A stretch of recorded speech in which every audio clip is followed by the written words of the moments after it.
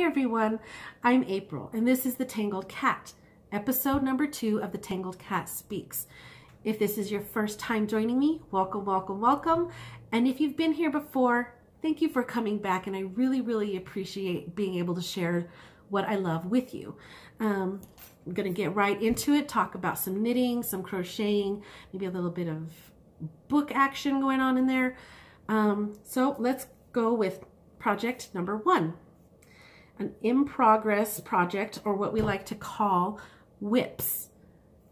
Works in progress, WIPs. Uh, and I don't know why when I hear that, when I hear somebody else say, oh, I'm going to pull out my whip, I think of that song. Now watch me whip and watch me nae nae. I don't know why. I know, silly.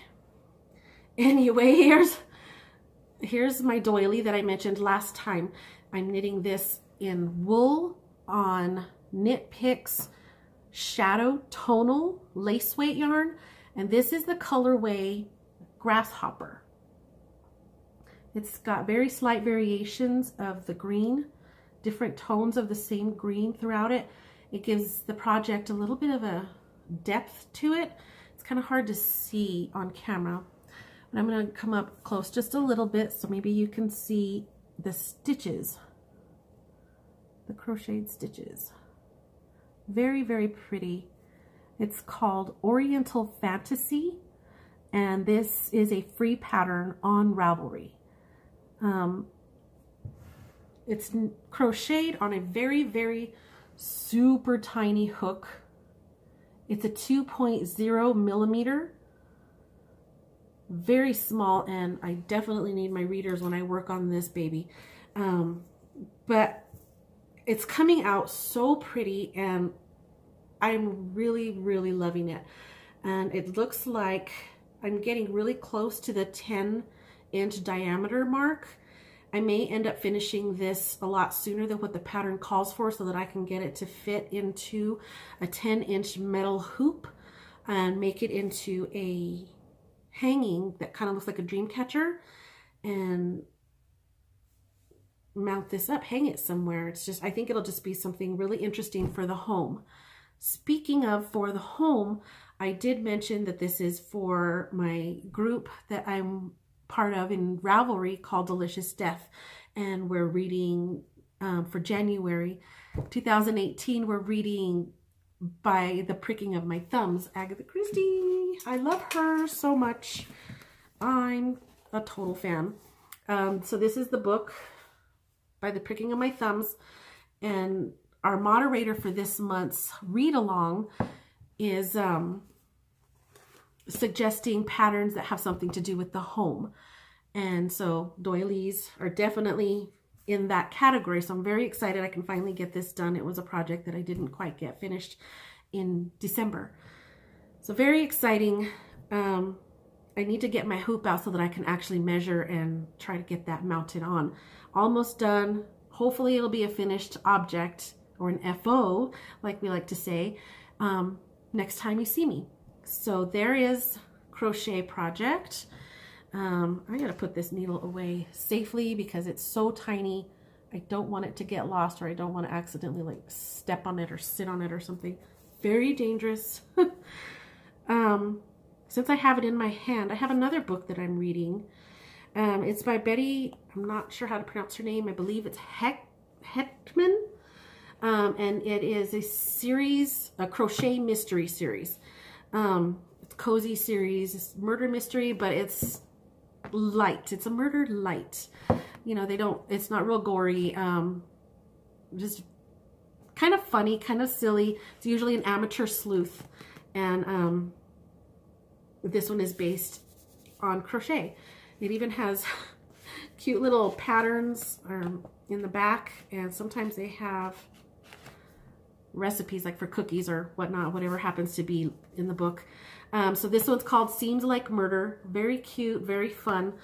Um, gosh, I think this is like number nine or 10 in the series. I'm not positive on which number, but I just think it's such a cute little series and I adore it so much. And murder mysteries are my theme, all because of Mrs. Christie.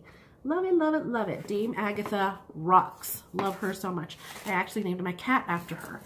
I don't know if she'll you'll see her anytime soon. She likes to perch up here from time to time. Um, but she's sleeping right now. She's she's living the life, taking naps all day long.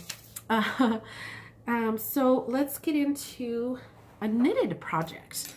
I'm sure that some of you have a lot of stash and have a lot of leftovers. And I know that if you're on Ravelry, you've probably seen it. There's different versions of it. Some people call it a memory blanket. The particular pattern that I'm using is called, I have notes, I have notes this time. This particular pattern is called Knitted Patchwork Recipe, and it's another free um, thing from Ravelry, and it is by Martine Ellis. It's the same idea as what people are calling the memory blanket. I think that the it might be a little bit different in the size of the squares and the way that the decreases are made, but it's the same idea. And it's to use up all your little leftover balls, tiny little balls, and just knit them together into this, what will eventually be an actual human size blanket. Right now, it may work for a Barbie bed, I don't know. But I've got so many different yarns in here and um this is fingering weight. I have yarns on here that I have had just I can't get rid of the bits.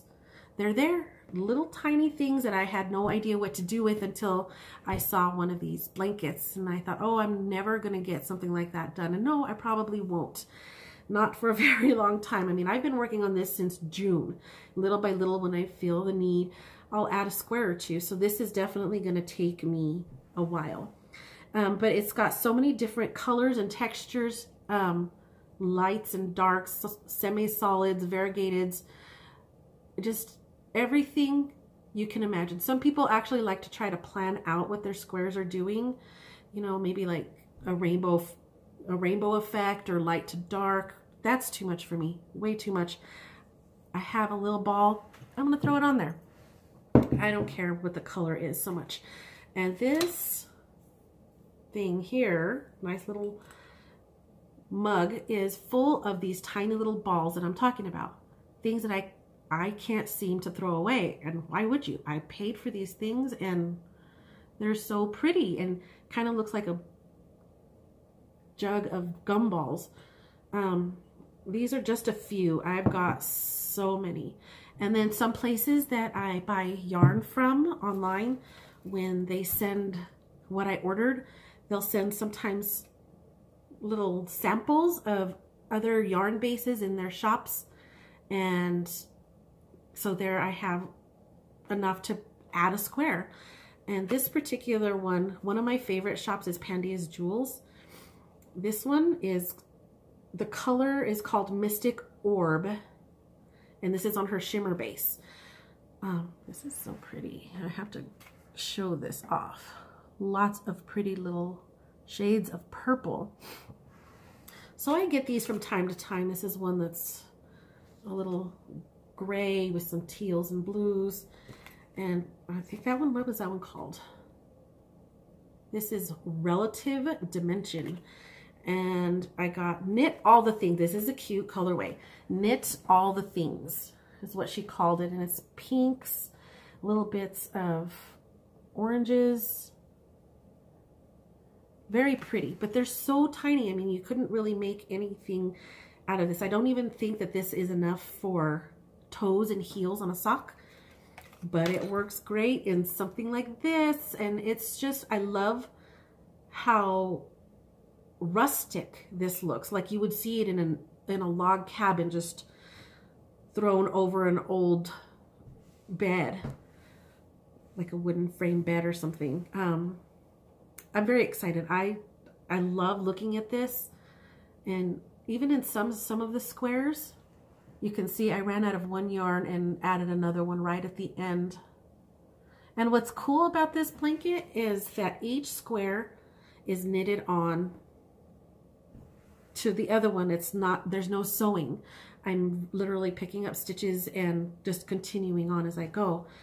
Um, best, best thing. Now, what I, I really need to get better at is the ends.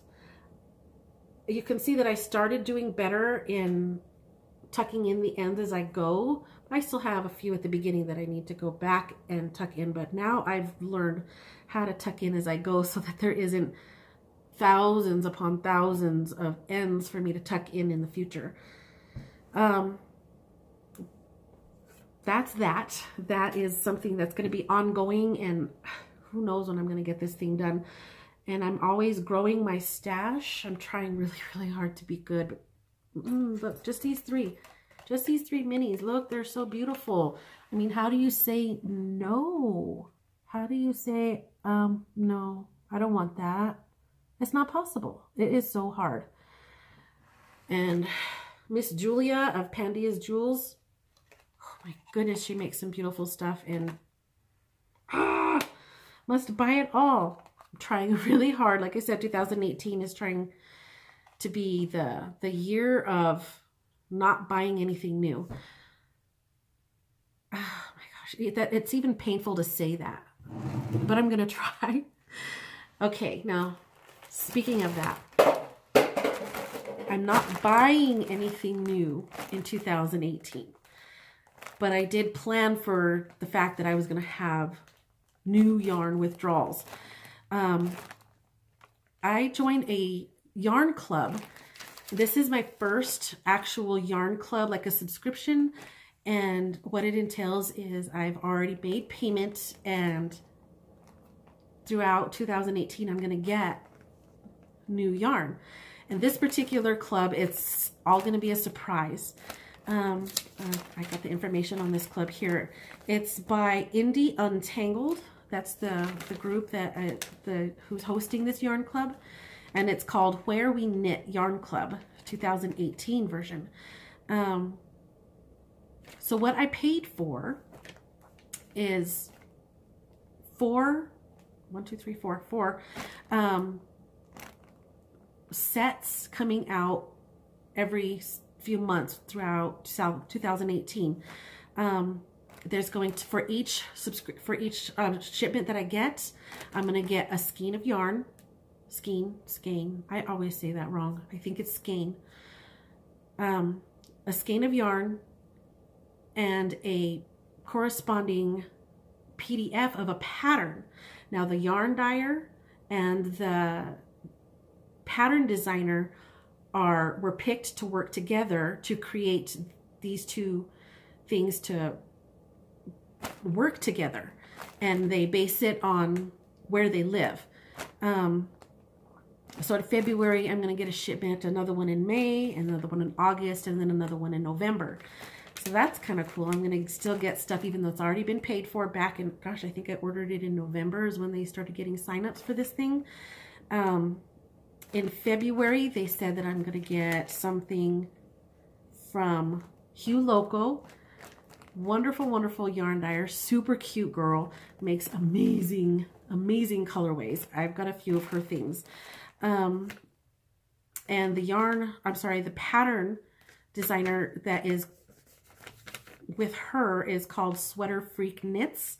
So I've never knit any of her patterns and I, I did look to see what she made has made in the past to see if I am going to like it. And I'm very excited. I think that February is going to be very, very exciting. Um, May is going to be Pandia's Jewels. She's the one who I've, I've got a lot of her stuff already, so I'm super excited to see what she came up with based on where she lives, the yarn colorways, the yarn colorway that she's going to come up with. And she's paired with CC Almon. Now her, I've got quite a few of her patterns. And I've knit a couple pairs of socks that I got from her. And I've got definitely got another shawl that I'm really, really dying to make. Her coffee date shawl. Oh, I'm so excited. I still have it. I have the yarn it have it printed out. It's in a in a bag, just ready and waiting for me to get busy on it. But so the fact that Pandia's Jewels and CC Almon are together in May, I'm going to get this surprise pattern and colorway from those two. I am super, super excited. Um, August is Little Fox Yarn. I don't know anything about this particular dyer and she's paired with, or they, I don't know if it's he or she, they're paired with Caitlin Hunter for the pattern. Um, I, don't know really a whole lot about them. Um, so that's going to be like a super pure, honest to goodness surprise for me. And I am very, very excited. That's in August. In November, I'm getting a colorway from Dark Harbor Yarns. And again, I don't know that that particular dyer, but it's so exciting. It's going to be just, I'm going to open this package and I'm going to be like, ah, yay! So, um, and they pair Dark, Harn Yar ugh, Dark Harbor Yarns with Amy van de Laar pattern designer. And I definitely know her. I haven't knit any of her things yet, but I've got her in my queue for her beeswax hat. Oh, it is so pretty. I got this thing for bees lately, and her hat is gorgeous. Gorgeous, gorgeous, gorgeous. I've already got yarn set aside for that too. So this is going to be a year of no buying new yarn for myself, but I'm still getting yarn because I've I planned ahead to make sure. Um, so I'm not spending any money in 2018 for yarn, but I will be getting new stuff and I am so going to share those with you. We're going to just take this adventure together. And again, that was the Indie Untangled Where We Knit Yarn Club 2018. Um, the yarn dyers and the patterns designers, like I said, are going to be basing their work on where they live. And that's super exciting to me. So you get to see what they're inspired by on an everyday basis. Very, very cool. Fun, fun, fun. So I mentioned that one of the colorways in that yarn club is from um, a yarn dyer called Hue Loco. Um, she's based out of Colorado and I just recently found her. I stumbled upon her somehow and I fell in love. And then she's also got a YouTube channel here, um, again called Hue Loco, H-U-E-L-O-C-O, and super cute. She is so adorable. Um, I just binged watched all her her YouTube videos and I want more. I want more from her. I love her. She's so cute. And again, I got a little crazy um, a little excited about some of the things that she was dying. And I got up on her website and I ordered a few things and they're over there in my closet. Mm, that pretty, pretty closet full of yummy, yummy, beauty, beautiful stuff. Beautiful. So I keep harping on the fact that I'm not buying any new yarn in 2018. December 30th. Okay, my birthday is December 31st. December 30th, I bought myself a birthday present. And it came in. And the this is yarn from Hue Loco. And I haven't seen it. I know what it is, obviously. I ordered it. It's not a mystery. But I haven't seen it in person. Um, so excuse the crinkling. I'm going to start cutting this and opening it up very, very, very carefully. Um, what I ordered is a collection. It's part of a collection that she did um, called the Backyard Chicken Collection. I think it's called Backyard. I, I should look at my notes more often. Yeah, Backyard Chicken Collection. And what she did was she based her colorways on different breeds of chicken. Chicken? Chickens? um, she had several and I ordered three different sets. Um, so it's a full skein of skein. One of these days I'm going to get that right. A full skein of a main color and two minis. Um, so presumably to make a pair of socks based on this chicken. And so I ordered three. And I'm going to keep saying chicken because I like the word chicken. Um, I don't have the pictures of what the actual chickens look like, but I'm going to describe them to you. And you can see the pictures that she got the inspiration from side by side on her website. Pictures, side by side pictures of the yarn that she dyed and the chickens that she was inspired by. Oh my gosh, she did such a good job getting them to match. So, so, so pretty. It's, it's magical and I've I have never been a farm girl or lived out in the country. Very much not an outdoorsy kind of person.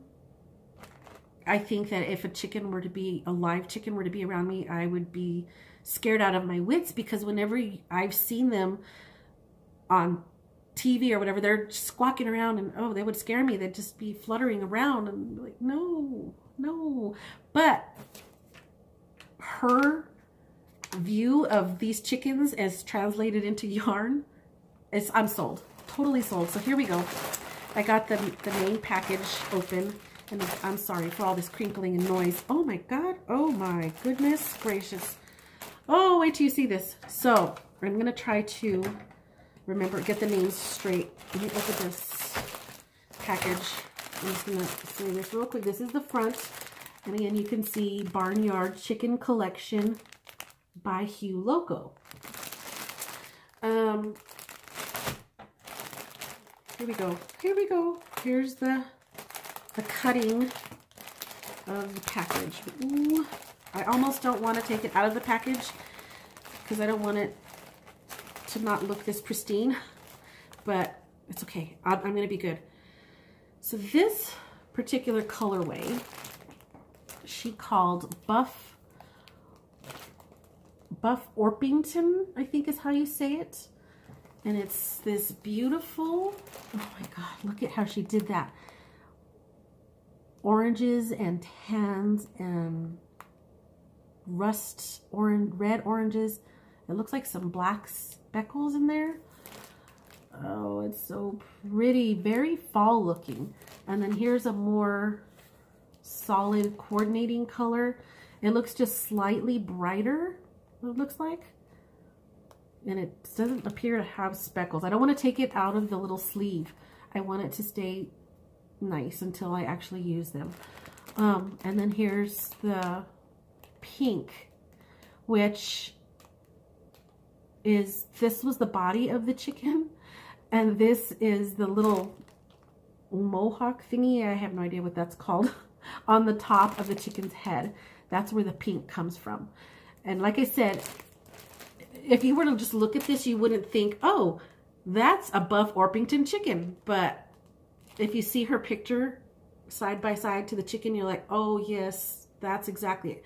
Perfect representation. Amazing. Super, super, super excited. Oranges aren't my main color. I'm more of cool colors, you know, greens, purples, um, blues, grays. But lately I've been on a, an orange kick and I've got tons of it. So I need to get, get knitting on some of these things. Super excited. okay, reveal number two. Oh, and you know what? I should tell you what base she's got this on. This is her Phyllis sock. Um, 75% merino and 25% nylon. It's a 100 gram skein and the two minis are 20 grams each. Um, super, super excited. I can definitely make a pair of socks and have some left over. Uh, I just may do some chicken shawls. Who knows? Oh my God, this one is so pretty. Oh, so pretty. Okay, here we go. So this is Look at that, the coordinating red. Oh, this is her light Sussex chicken colorway. And again, look on her website for the side-by-side -side picture of the actual chicken. Speckled um, white, gray, and black chicken. Um, and here's the coordinating black. And then the little, I think it's the under thing. I can't remember if it's that or the do chickens have that or is that turkeys? I don't remember. oh God, I am so not a farm girl. But this is the red that goes with it. I'm pretty sure it's this thing. Um, but it's so pretty. Oh, look at that. Oh, oh, oh. Light Sussex chicken shawl. I just, I can't. I can't. Woo. Now this one, everyone has a favorite color me, like everyone else, I have a favorite color, but I, and I'm pretty sure everybody does as well, but has a color that drives them crazy in, in not always a good way. And for me, that color is yellow. I hear, I'm gonna move this so it's not so crinkly. Um, I hear people say how yellow is so peaceful for them. It's just a happy, peaceful color. And to it's yellow is one of those, it depends on the shade of yellow. Most yellows for me, I'm just like, oh, no, no, thank you. There is um, one or two shades of yellow that are quite lemony that that I can stand, that I really like. Um, but it's hard to find that particular shade of yellow. But Hue Loco did it. They made a chicken yarn with the exact yellow that I like. And so I had to get it. So here it is. This is, no, it's on this side, the Barred Rock, Rock? Barred Rock colorway. And it's a pretty chicken. And I think instead of doing the little head thingy, this is the color of the feet, the chicken feet. Yay. This particular one has a semi-solid gray. And then the, the main skein has like a dove gray and then some lighter black and gray speckles. And then some more of that yellow mixed in. Ooh. See, this is a beautiful yellow. This is very lemony and I like it. Now, I wouldn't make an entire shawl or sweater out of it, but as an accent, it's very pretty. Now, I've seen cars this color. Not a fan. But as an accent color, I think it's pretty. Um, I'm super happy with this. Super, super excited. I need to get off of dissing yellow because it's actually not as bad as I say it is. And I'm pretty sure that I'm coming around and my, my tastes are changing. And it's probably because of dyers like Hue Loco who are just making dreams come true and changing the world through color. And I'm super excited about that. So yay, I got my three chicken yarn kits, sets, and I'm very, very happy. Uh, so that's kind of a taste for me to see what she's going to come up with in the February yarn club that I joined. Um, we'll see what, what she does. She's, I obviously already love her work, so I'm super excited to see what she comes up with and how she pairs that with um, Sweater Freak Knits' pattern. Ooh, super excited. Okay, I'm going to stop gushing about that because you're probably like, shut up. Not really. Not really. We all love it. We all love to look and to squish and look some more. And ooh, I mean, that's why we do it, right? The colors, they draw us in and then the projects just happen. So super exciting, very, very fun. Um, I'm thrilled, super thrilled. Um, I didn't get a whole lot done on my sock for Daniel. I'm still about where I was. There's that pretty teal. So I'm still about in the same place. Um, I really need to get these done. I would like to make more socks. I just, I'm craving socks right now. I was on a couple of years of nothing but shawls. Um, and now I'm shifting over and all I want, all I can think about right now are socks and it's so exciting. I just got some new knitting needles. I, uh, if you can't tell, I prefer knitting on DPNs. These are six inch nickel plated DPNs and these are from Knit Picks. Um, I really like them. Um, there's, there's nothing super fancy about them. Um, they're just nickel plated six inch double pointed needles. I tried knitting with magic loop or with two um, short circulars. I I can do it. I just don't care for it as much. It, it seems too fiddly for me. And I'm assuming that that's because I learned how to knit in the round on DPNs. Um, you know, it's it's comfort. It's a comfort zone for me. I'm there. I know how to do it. It's mindless almost. And I feel like Magic Loop is a little too fiddly for me, but I know people who just love it.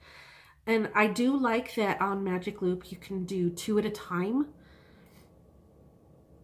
But I don't love that enough to want to do Magic Loop but I do get second sock syndrome. Oh, that is a thing, people. Second sock syndrome. You know, I make a shawl, I get to the end, and I'm done. I have a shawl, or I have a hat, or a scarf. Socks and gloves, it, you have to do the same exact thing twice. I am more of a start all the things now kind of person. I get start-itis all the time. It is not even funny how many things I've got started in that closet. And um, having to make the same thing a second time is uh, like the second one, I'm just like, okay, been there, done that. I don't want to do it again. But I can't walk around with one sock because, you know, my other foot will freeze and that's not cute. So second sock syndrome is a thing. We need to we need to start a, something to stop second sock syndrome.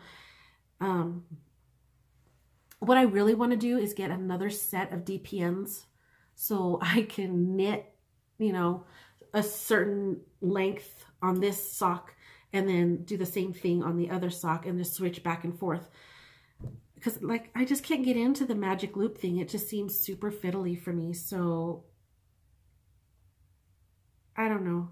We'll see if I ever decide to make get myself some more needles and do two at a time that way.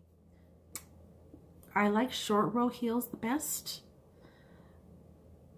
And I actually do, I, but I love the fit of uh, gusset and heel flap better. Um, I just don't like picking up the stitches after you finish the heel flap. I don't know why that that is just not pleasant for me. I don't know. Um, so I do, I tend to do the short row heel just because it's easy, but the heel flap, I think, looks better and feels better, I think.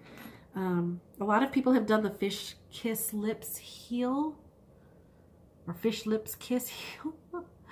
um, I've never done that yet. That is actually one I haven't tried and I really want to. Who knows, maybe next month I will try that and it'll be something new. Speaking of something new or challenging myself, um, Ravelry, the group, my group Delicious Death that I read Agatha Christie books with, is joining um, the Ravellenics on Ravelry. And what the Ravel Ravellenics is, is we get um, a group of people and we have a team, so to speak, and we knit along with the Olympics. And everybody casts on around the world um, on the same at the same time that the Olympics are actually started. And so it's it's kind of cool to know that I'm starting my project at the same time as someone over in Finland or Germany or Australia and we're all making these projects starting at the exact same time. Um, some people, and I, I can't even pronounce the name of where the Olympics are going to be this year, but it's this, this year is in February and I'm going to, I'm challenging myself to do something brioche. I've never done brioche. My best friend made, has made a couple of things with it and it's so pretty and I don't know why I'm afraid of that technique. I have no clue. I've been knitting for a long time and for some reason, ugh, for some reason, brioche scares me. So I'm going to do it. I'm going to challenge myself to do brioche and I may make another pair of socks using the Fish Lips Kiss heel. Um, as another challenge to myself. So uh, when I participate in these Ravellenics, I'm actually pushing myself. That's the whole point of the Ravellenics games is you find something to push yourself. Some people push themselves with new techniques. Some people push themselves with by knitting and knitting and knitting and knitting miles and miles and miles of yarn into these projects. It's sometimes it's one huge project. Sometimes it's just a whole bunch of little projects, but they just knit, knit, knit. That's their challenge. Um, other people challenge themselves in different ways. Um, and it's just fun. It's just a fun little thing. And your particular team's moderator will, um, at the end of it, will give out little medals or badges for, for your accomplishments. And it's just cute. It's fun. Um, everybody is, it's just, we're cheerleaders for each other and we just have a good time. And I love Ravelry because I can just talk to these people from other countries and we're we're loving the same things. And we're bonded by this crafting, crazy crafting that we do. It, it's just so fun. I love that, you know, somebody will post something in the message boards and it's in French.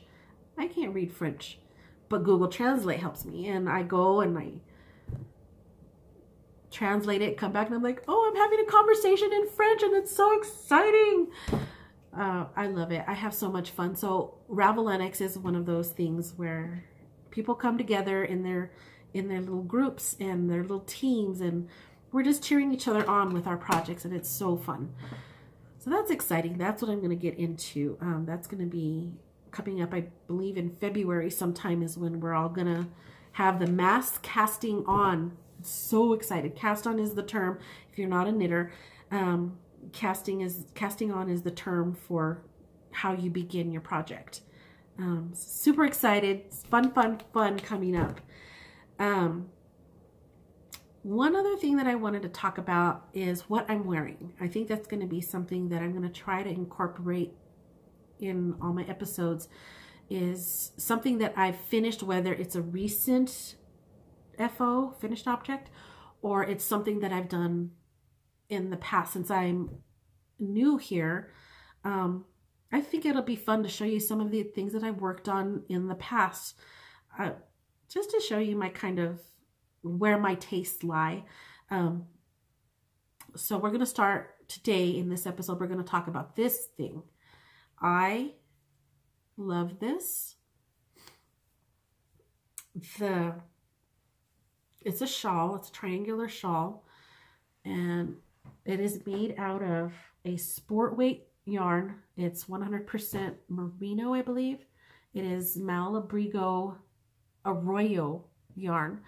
And the two colors that I have in here are, the gray is called Plomo.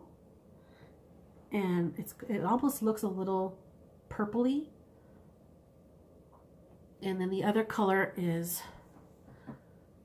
a real pretty multi-toned green that is called Shirkus or Chirkus, Chirkus, I don't know how to pronounce it. Um, but this is a pattern that I designed and I recently put it up onto Ravelry.